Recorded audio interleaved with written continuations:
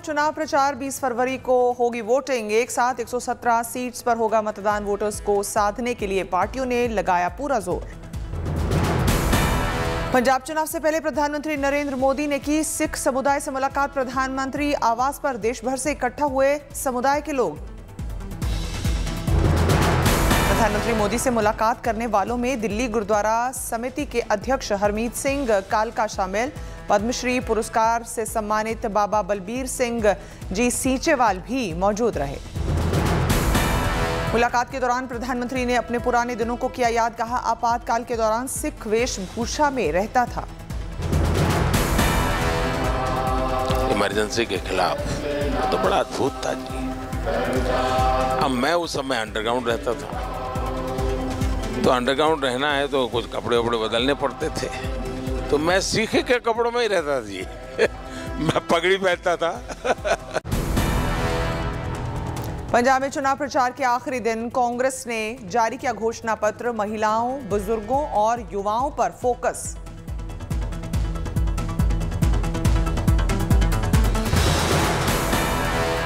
पंजाब चुनाव को लेकर राहुल गांधी का ट्वीट, पंजाब और पंजाबियत की रक्षा करने का दिया दावा।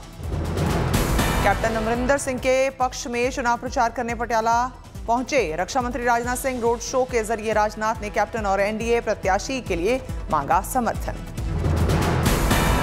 चंडीगढ़ में कांग्रेस की press conference, CM Charanjit Singh Channi, Punjab Congress अध्यक्ष नवजोत सिंह सिद्धू और पंजाब प्रभारी हरीश चौधरी शामिल। नवजोत सिंह सिद्धू ने कहा, बदल रही है पंजाब की राजनीति, माफिया राज को खत्म करना सिस्टम के ज़रिए ही संभव। आज पॉलिटिक्स बदल रही है और उस बदलती पॉलिटिक्स की जो धुरी है, वो माफिया राज का खात्मा है। कहना बहुत आसान है, लेकिन इस माफिया राज को खत्म करना एक सिस्टम द्वारा ही संभव है। पंजाब चुनाव प्रचार के आखिरी दिन केजरीवाल ने झोंकी ताकत बोहर में अरविंद केजरीवाल की रैली, बोले सारी पार्टियों ने मिलकर पंजाब को लूटा।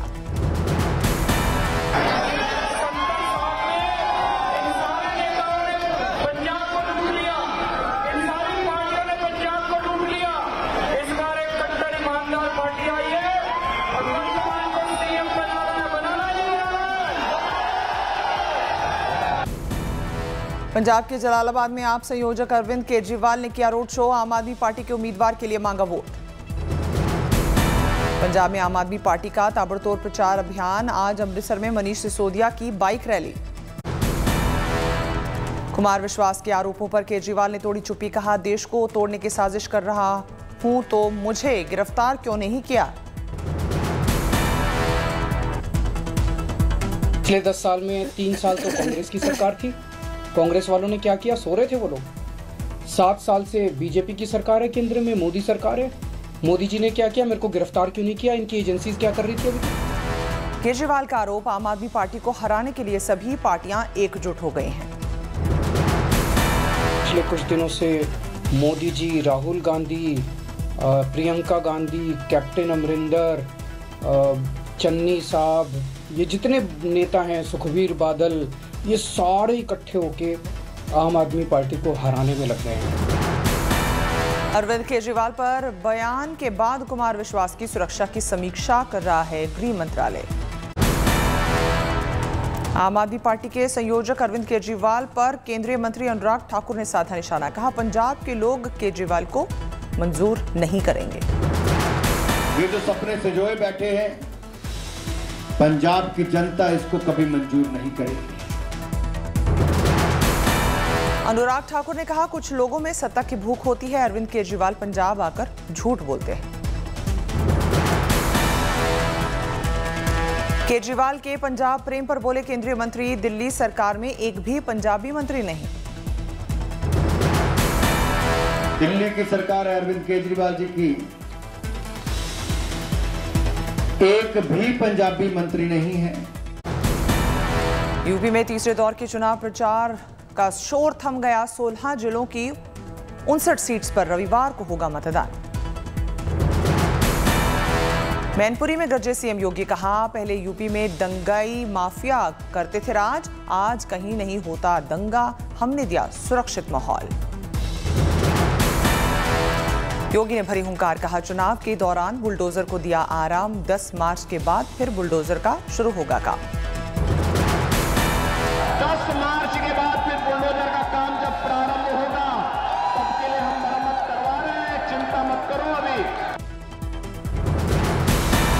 अयोध्या में जेपी नड्डा की रैली, कहा राम भक्तों पर गोली चलाने वाले किस मुँह से मांगेंगे वोट?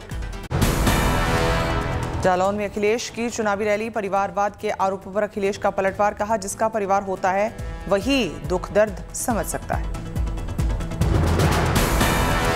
परिवारवाद पर प्रधानमंत्री और सीएम के आरोपों पर बोले अखिलेश, परिवार वाला ही महँगाई और बेरोजगारी का दर्द समझ सकता है।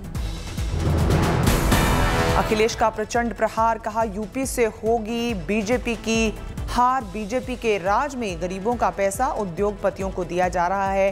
कोरोना काल में बीजेपी ने नहीं दी गरीबों को मदद। कानपुर में अखिलेश यादव का रोड शो, सपा प्रत्याशियों के लिए मांगा वोट, बीजेपी सरकार पर साधा निशाना।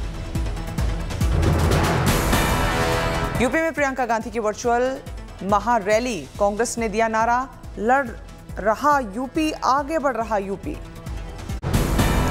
महाराष्ट्र को बड़ी सौगात। प्रधानमंत्री मोदी ने दो नई रेलवे लाइंस का किया उद्घाटन। प्रधानमंत्री ने वीडियो कॉन्फ्रेंसिंग के ज़रिए दिखाई हरी झंडी।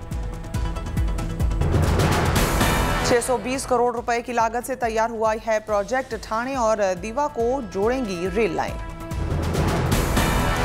इस प्रोजेक्ट में 1.4 किलोमीटर लंबा रेल फ्लाईओवर भी बना। तीन प्रमुख पुल और 21 छोटे पुल भी शामिल। प्रधानमंत्री मोदी ने मुंबई उपनगरीय, नगरीय रेलवे की दो उपनगरीय ट्रेन्स को भी दिखाई हरी झंडी। ये रेलवे लाइन यातायात में रुकावट को काफ़ी हद तक कम करेगी। मददगार साबित होगी इस पर 36 नई ट्रेन को भी चलाने की योजना।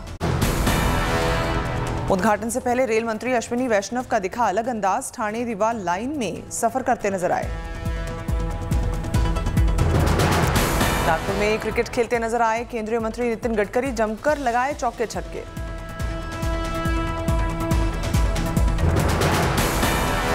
गुजरात चुनावों के लिए कांग्रेस ने शुरू की तैयारी। 25 फरवरी से द्वारका में तीन दिन का चिंतन शिविर। गुजरात चुनाव के लिए भावी उम्मीदवारों के चयन पर होगी चर्चा। 2008 के अहमदाबाद बम ब्लास्ट में स्पेशल कोर्ट के फैसले पर बीजेपी की प्रेस कॉन्फ्रेंस प्रवक्ता गौरव भाटिया ने फैसले को बताया ऐतिहासिक कहा मृतकों को मिला इंसाफ। जो हमारे निर्दोष नागरिक हैं उनको मौत के घाट उतारा था। आज उन परिवारों को भी इंसाफ मिला है। अहमदाबाद ब्लास्ट में कोर्ट ने सुनाई अड़तीस लोगों को फांसी की सजा 2008 में हुए थे धमाके। पहली बार इतने लोगों को एक साथ फांसी की सजा, छप्पन लोगों की हुई थी मौत।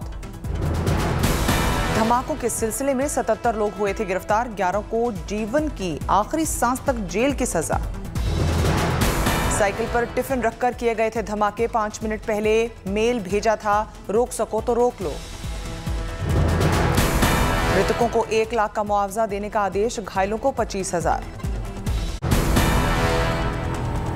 भारत और यूएई के बीच सीआईपीए के तहत आपसी व्यापार को बेहतर बनाने के लिए हुआ समझौता, वाणिज्य मंत्री पीयूष गोयल और यूएई के वाणिज्य मंत्री ने किए दस्तखत। अभिषेक बैनर्जी बने रहेंगे तृणमूल कांग्रेस के जनरल सेक्रेटरी, टीएमसी के नई राष्ट्रीय कार्यकारिणी ने लिया फैसला। वित्त मंत्री निर्मला सीतारमण से असम के मुख्यमंत्री, हिमंता विश्वास शर्मा ने की मुलाकात। डी कंपनी पर जाँच एजेंसियों का बड़ा एक्शन, दाऊद इब्राहिम के भाई इकबाल कास्कर को ईडी ने किया गिरफ़्तार। 24 फरवरी तक ईडी की कस्टडी में रहेगा इकबाल कास्कर। जबरन उगाही केस में 2017 से जेल में बंद है दाऊद का भाई। हिजाब विवाद पर शुक्रवार को भी नहीं हो सका फैसला। कर्नाटक हाईकोर्ट में सुनवाई खत्म 21 फरवरी को होगी अगली सुनवाई। कर्नाटक सरकार की ओर से अटॉर्नी जनरल ने रखी दलील, कहा, हिजाब इस्लाम की अनिवार्य धार्मिक प्रथा नहीं। कर्नाटक के मंत्री के एस ईश्वरप्पा को बर्खास्त करने की मांग, कांग्रेस विधायकों ने सदन में गुजारी रात। के एस ईश्वरप्पा ने की थी लाल किले पर भगवा झंडा लहराने के बाद कांग्रेस कर रही है इस्तीफे की मांग। चित्रदुर्ग के कॉलेज में हिजाब को लेकर पुलिस और छात्रों के बीच कहा सुनी देश भर में पिछले 24 घंटे में सामने आए कोरोना के 25,920 नए केस। पिछले दिन के मुकाबले 15.7 फ़ीसद कम केस। रिकवरी रेट बढ़कर हुआ अट्ठानवे फ़ीसद। लगातार बेहतर हो रहा है रिकवरी रेट। पिछले 24 घंटे में छियासठ हज़ार दो सौ चौवन लोगों ने कोरोना को मात दी। अब तक चार करोड़ उन्नीस लाख से ज़्यादा लोग कोरोना को मात दे चुके हैं। कोरोना के एक्टिव केसेस में भी आई गिरावट। पिछले 24 घंटे में कम हुए 40,826 एक्टिव केस। पिछले 24 घंटे में सैंतीस लाख छियासी हज़ार से ज़्यादा टीकाकरण। अब तक एक अरब चौहत्तर करोड़ चौसठ लाख से ज़्यादा टीकाकरण। पिछले 24 घंटे में केरल में आए कोरोना के सबसे ज़्यादा केस 8,655 लोग संक्रमित। महाराष्ट्र में दो हज़ार नौ सौ सत्तानवे लोग कोरोना पॉजिटिव उत्तर प्रदेश में साढ़े आठ के करीब लोग संक्रमित। तमिलनाडु में एक हज़ार दो सौ बावन लोग कोरोना पॉजिटिव कर्नाटक में आए डेढ़ हज़ार से ज़्यादा नए केस। राजस्थान में पिछले 24 घंटे में सामने आए 1506 नए केसेस हरियाणा में 738 कोरोना पॉजिटिव। पिछले 24 घंटे में पंजाब में दो सौ उनहत्तर लोग कोरोना संक्रमित, बिहार में 125 लोग कोरोना पॉजिटिव। कानपुर में आर्यनगर में समाजवादी पार्टी प्रत्याशी का वीडियो वायरल, चुनावी सभा में अपनी पत्नी से की सुंदरकांड की तुलना। वाराणसी के शिवपुर विधानसभा सीट से खुद को ज़िंदा साबित करने के लिए संतोष मूर्त ने भरा पर्चा, जनसंघ जनसंघ पार्टी से मिला टिकट। राजस्व विभाग की फ़ाइल में संतोष मूर्त को बताया गया है। मृत 20 साल पहले संतोष की ज़मीन हड़पने के लिए रची गई थी साजिश। दरभंगा में दो लोगों को ज़िंदा जलाने के मामले में पप्पू यादव का बड़ा बयान कहा, पैसे के बल पर माफिया ने खरीदा थाना। पप्पू यादव ने की सीबीआई जाँच की मांग, ज़मीन विवाद में दो लोगों को जलाया गया ज़िंदा। दरभंगा में दो लोगों को ज़िंदा जलाने के मामले में पप्पू यादव का बड़ा बयान कहा, पैसे के बल पर माफिया ने खरीदा। थाना पप्पू यादव ने की सीबीआई जाँच की मांग ज़मीन विवाद में दो लोगों को जलाया गया ज़िंदा। नागपुर के एक युवक ने बनाया ड्राइवर्स के लिए अलर्ट भेजने वाला उपकरण सड़कों पे होने वाले हादसों को कम करने में होगा मददगार।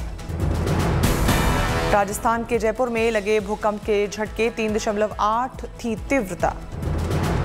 वाराणसी में, चलती ट्रेन के नीचे आई महिला को आईआरसीटीसी कर्मियों ने जान पर खेलकर बचाया, सीसीटीवी में कैद हुई। तस्वीरें। यूक्रेन संकट का दुनिया भर में बाजारों पर दिख रहा है असर। अमेरिकी stock index, Nasdaq S and P 500 और डाउ जोन्स में बड़ी गिरावट।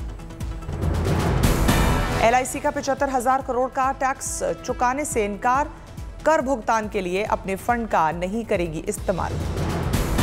महँगाई भत्ते के एरियर पर जल्द हो सकता है फैसला। सरकार ने जनवरी 2020 से जून 2021 तक डीए के भुगतान पर लगाई थी रोक।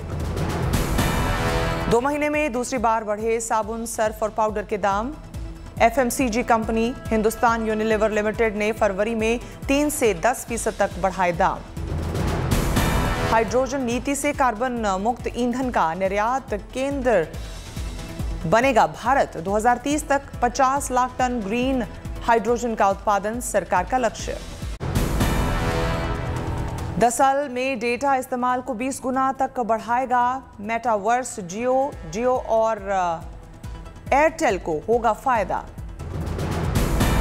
चीन ने चौवन ऐप पर पाबंदी के भारत के कदम की की आलोचना, वैध हितों को नुकसान पहुँचाने का लगाया आरोप। एक भारतीय शॉपिंग वेबसाइट और चार बाज़ार नकली सामानों के गढ़, कुख्यात बाजारों की अमेरिकी सूची में शामिल होने की बात आई सामने। दिसंबर 2021 के दौरान पिचासी दशमलव चार लाख मोबाइल नंबर में हुई पोर्टेबिलिटी, एक दशमलव दो नौ करोड़ ग्राहकों ने छोड़ा जियो का साथ। मारुति बलिनो 2022 मॉडल 23 फरवरी को होगा लॉन्च। मारुति की प्रीमियम डीलरशिप नेक्सा पर बुकिंग शुरू। रूस के साथ चल रहे विवाद के बीच सेना के जवानों से मिलने पहुँचे यूक्रेन के राष्ट्रपति व्लादिमीर जेलेंस्की। राष्ट्रपति की अपील के बाद पूरे यूक्रेन में बुधवार को मनाया गया राष्ट्रपति एकता दिवस। दुनिया में कोरोना के मामलों में कमी को डब्ल्यूएचओ ने बताया, टेस्टिंग कम होने का नतीजा। ब्रिटेन में छोटे बच्चों को कोरोना संक्रमण से बचाने की कवायद, फाइजर का लगाया जाएगा टीका। कोरोना के मामलों में कमी आने पर जर्मनी में लोगों को प्रतिबंधों से राहत देने की तैयारी। ब्राज़ील में भारी बारिश के बाद ज़मीन धंसने से भारी तबाही, सेना की मदद से राहत और बचाव अभियान शुरू।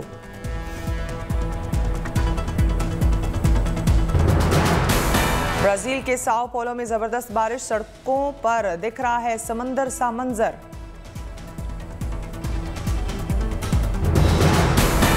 कनाडा में ट्रक ड्राइवर्स को अल्टीमेटम या तो शहर खाली करें, नहीं तो लाइसेंस रद्द होगा। मैक्सिको में कांग्रेस के सत्र के दौरान पत्रकारों का प्रदर्शन। थाईलैंड में बौद्ध अनुयायियों ने मनाया त्योहार, मंदिर में शानदार सजावट।